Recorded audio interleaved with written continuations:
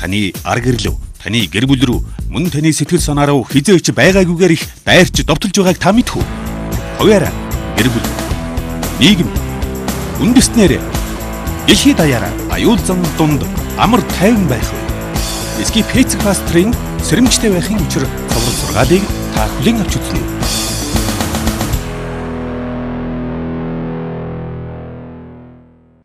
Одоо хамтдаа Ром 12 дугаар бүлгийг үздэцгээе. Ром номын энэ бүлгээс бид энэ удаагийн сэрэмжтэй байхын учир цувралаан дүгнэж дуусгах болно. Эхлээд бүгдээрээ ертөнцийн эзэнтэй ярьцгаая.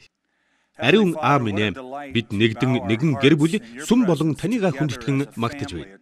Та ариун сүнсээрээ биднийг өдөртөн чиглүүлээч. Өнөөдөр бид сэрэмжтэй байхын учир гэж нэрлсэн энэ цувралынхаа дүгнэлтийг хийх боловч Үнээс хойш бидний унших, сонсох бүх зүйлээр маань дамжуулан үйл хэрэг болж чадах үнний үрийг зүрх сэтгэлийн маань ухт бат суулгаж өгнө. Энэ цаг үед биднийг итгэлтэй, эрч хүчтэй байлгаач. Бид өнөөдөр амар тайван итгэл дүүрэн амьдрахыг хүсэж байна. Бүхий л хүндэтгэл магтаал нь танд байх болтугай. Энэ бүгдийг Есүсийн ариун нэрээр ярьлаа. Амен. Одоо миний ярих хүний тухай та сонсоогүй байхаа. Түүнийг Бернард Браун гэдгийг. Энэ хүн бол Жорж мужид байдаг Чимс Тоун Хиалткер менежмент группийн ерөнхийлөгч. Энэ хүн залуудаа Харьяа дүүргийнхээ эмнэлэгт ажилладаг байж. Тэгээд тэр эмнэлэгт болсон нэгэн явдлыг ярьж өгсөн. Эмнэлэгт нь хэвтэж байсан нэг өвчтөн аягтай усаа санамсаргүй унгаагаад орныхоо дэргэд асгачихжээ.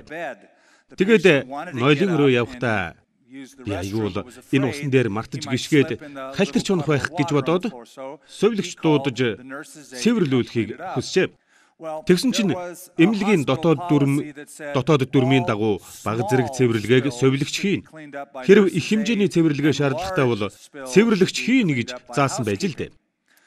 Удалгүй тэр өрөөг хариуцсан совилогч орж ирээд их ус асгарсан байд. Цэвэрлэгчээр цэвэрлүүлээ гэд гарчээ. Удалгүй цэвэрлэгч хурч ирээд Нөгөө асгарсан усыг харснаа. Тийм ч их биш юм байна. Совилогч өөрөө цэвэрлэх ёстой гэж гинэ. Тэгээд л нөгөө өвчтний өрөөнд совилогч, цэвэрлэгч хоёр хоорондоо маргалдаж гарчээ. Тэд юу гэж маргасан бэ гэхээр нэг нь энэ миний хүлээх үүрэг биш ээ. Их цэвэрлэгээ шаардлагатай гэхэд нөгөө үгүй энд их цэвэрлэгээ шаардлагагүй юм байна. Совилогч өөрөө цэвэрлэх ёстой гэцгээж гинэ. Тэр хоёрын ингэж маргахыг нөгөө өвчтөн сонсоод байж чадахгүй аргаа барахтаа Говинтой усыг аваад шалгаар нэг цацчихад за одоо их баг гэж ярих хэрэг байна уу гэхэд совилогч цэвэрлэгч хоёр хоёулаа тэр өрөөний шалыг цэвэрлсэн гинэ. Тэгвэл өнөөдөр миний та бүхнээс асуух асуулт бол өнгөрсөн 11-7 хоногийн турш үтсэн зүйлээс бидний хүлээх үүрэг юу вэ? Одоо бид 12 дахь 7 хоног дээрээ дүгнэлт гаргах гэж байна. Бидний үүрэг хариуцлага юу вэ? Одоо бид яах вэ? Бид яг юу хийгээд байна вэ?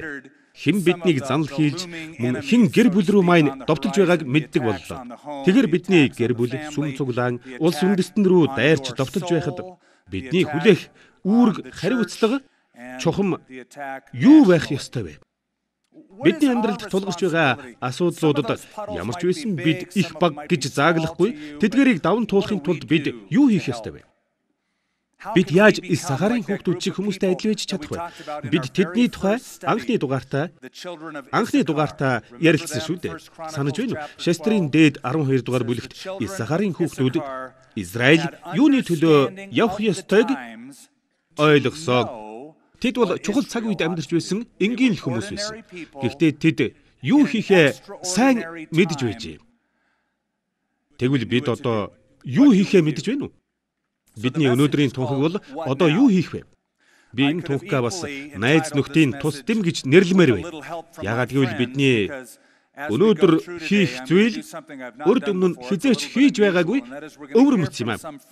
Учир нь бид одоо энд яригдж байгаа сэдвийнхээ дагуу амьдралын эдгээр асуудлуудтай тулгарч даван туулсан зарим нэг найз нөхдийнхээ туршлагаас сонсох болно. Харин Ром 12 дугаар бүлэг ертөнцийн эзний хайр ивэл гэсэн үгээр эхэлдэг.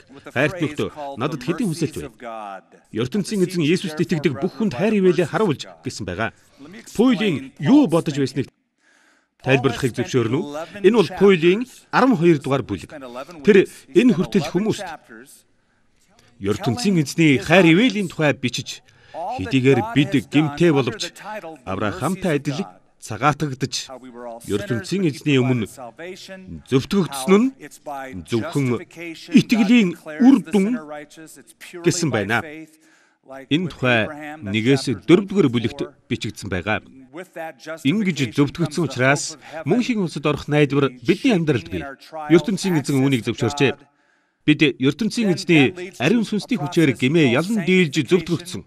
Пүйл 9-11-р бүлэгтээ ертөнцийн эзний Израильчууд болон бусад бүх үндэстнүүд дамлсан амлалтууд нь бас ертөнцийн эзний хайр ивэл юм а гэж бичсэн байдаг. Одоо бид энэ бүхэн хэрхэн хэрэгжиж байгааг харцгаана. Ром номын энэ бүлэг одоо юу хийх вэ гэсэн сэдвтэ байгаагийн учир нь энэ юм а. Нэгээс хоёр дугаар ишлэлд хайрт нөхдөө надад хэдин хүсэлт бай. ертөнцийн эзэн Есүст итгэдэг бүх хүнд хайр ивэлэн харуулж хийсэн гмийг нь цагаатгсан учраас та нар үүнээс хойш өөрсдийгөө түүнд өргөл болгон өг. Та нар Есүст итгэдэггүй хүмүүстэй адил байх ёсгүй. Тиймээс ертөнцийн эзний хүчээр санаа бодол зан чанараа шинчлүүлэх тун зөвхөн ийм аргаар хүн ертөнцийн эзнийг үнэхээр хүндэж байгаагаа харуулна гэжээ. Бид гол санааг нь олчихлоо тийм үү?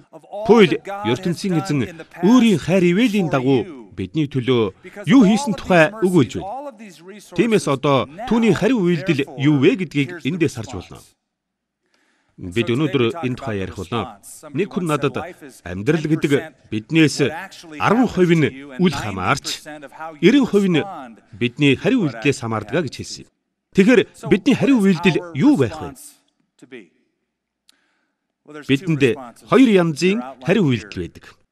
Эдгээр нь нэгдүгээрт бидний оршин байгаа энэ бие. ертөнцийн эзэн минь би энд байна. Би бүхий л биеэ танд зориулахад бэлэн байна. Та надаар хүссэн бүхнээ хийлгээч. Энэ бол бидний бие зариулж байгаа хэрэг. Үүний дараа бид оюун санааны хувьд өөрчлөгдөн бодол санаагаа зариулна. Нэгээс хоёр дугаар ишлэлд энэ тухай өгүүлж байгаа. Нэгдүгээр бүлгийг дахин нэг сайтар харцгаая. Хайрт нөхдөө Надад хэдин хүсэлт бай. ертөнцийн эзэн Есүст итгэдэг бүх хүнд хайр ивэлэн харуулж хийсэн гмийг нь цагаатгсан учраас та нар үүнээс хойш өөрсдийгөө түүнд өргөл болгон өг гэж. Өргөл болгон өг гэдэг нь хуучин гэрээнд бол тахилч мал амтэн өргөл болгодог байсныг хэлж байгаа үг юм. Тахилч өргөл болох малын амийг тасалж цусыг нь юулж тахилын ширээнд өргөдөг байсан. Энэ үйл явцыг бүхэлд нь өргөл өргөх гэдэг байжээ. Гэтэл энэ ишлэлд та нар өөрсдийгөө амьд өргөл болгон өг гэсэн байсан. Энд яригдж байгаа өргөл бол хуучин гэрээний үеийн өргөлөөс тис өөр юм. Өргөл болгон өгөх зүйл нь бол таны амьдрал, амьдралын хэм маяг юм. Энэ нь ертөнцийн эзний өмнө мал амьтны амийг таслаад өргөл болгон өгчхөөд одоо бүх юм болчихлоо гэж бодохоос огт өөр л дөө. Амьд өргөл болно гэдэг нь илүү хэцүү. Яагаад гэвэл хүн ямар ч шийдвэр гаргаж яаж ч холбилцох боломжтой. Тэгэд ч олон хүн ертөнцийн эзэнд өөрсдийгөө өргөл болгон өглөө гिचгээд хитгэн сарын дараа ертөнцийн эзэн минь ээ хүлээж байгаарай би жаахан өөрийгөө зугаацуулж байгаа дэрий гэдэг. Амьд өргөл байна гэдэг бол өдөр тутмын амьдралдаа ертөнцийн эзнийг нэгдүгээрт тавьж хэвшин гэсэн үг. Яагаад ертөнцийн эзэн таны биеийг өргөл болгон хүлээн авахыг хүсдэг вэ? Та яагаад биеэ өргөл болгох ёстой вэ? Би зарим итгэгчид бие бол чухал биш ээ гэж ярьж байхыг сонссон. Яагаад бид биеэ анхаарах ёстой вэ? ертөнцийн эзэн заавал яагаад биеэ өргөл болго гэсэн нь учиртай. Энэ нь зүрх сэтгэл, оюун санааны тухай.